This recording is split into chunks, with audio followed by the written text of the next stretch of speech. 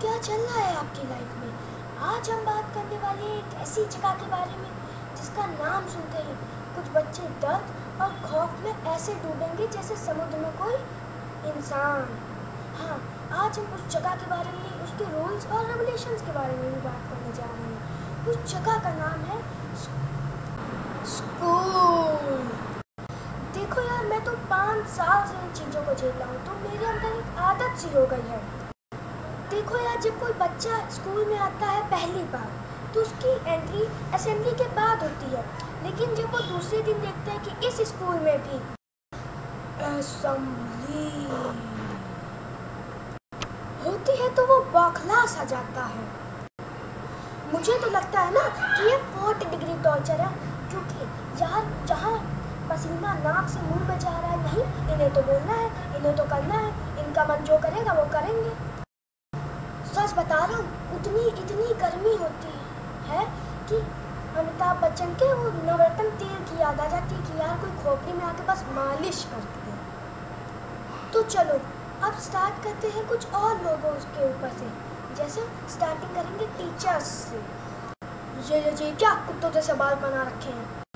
आ, अरे सर, ये तो मगर क्या? अबे चुप, क्यों मगर मगर लगा रखा है? तेरे बाप का राज जो मन होगा पहन के चला आएगा। और ये ये क्या शर्ट पहन रखी है?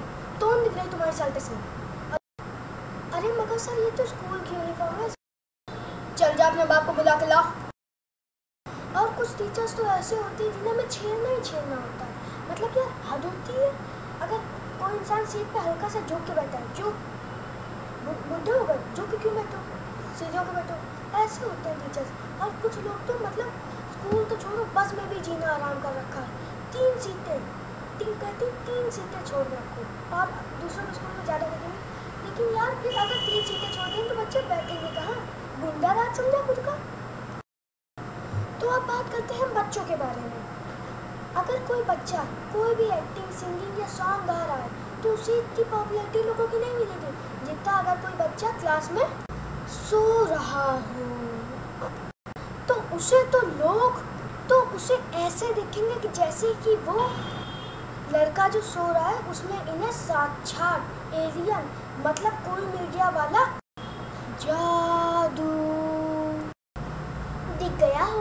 और अगर आपकी क्लास में कोई बच्चा पास्ता या चाउमीन लाया है और आपने उसे नहीं खाया तो आपका दिन बर्बाद हो जाएगा। भले फिर उन्हीं हाथों के साथ आपने नाक के अंदर उंगली डाल के वहाँ के बाल ही क्यों ना गिने हो। और जिन उंगलियों से उन्होंने अपने नाक के बिल्लियों के साथ छुपन छुपाई ही क्यों ना खेली हो। उन्हीं हाथों से मैगी गरम गरम लेके सुड़ सुड़ करके खाएँगे। तो अब बात करते हैं कैंटीन के बारे में।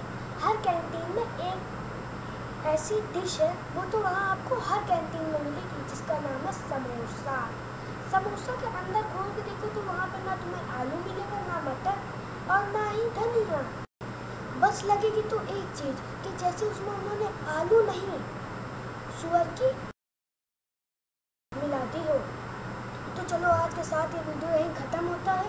अगर वीडियो पसंद आया तो उसे लाइक मारो और उसे सब्सक्राइब करो।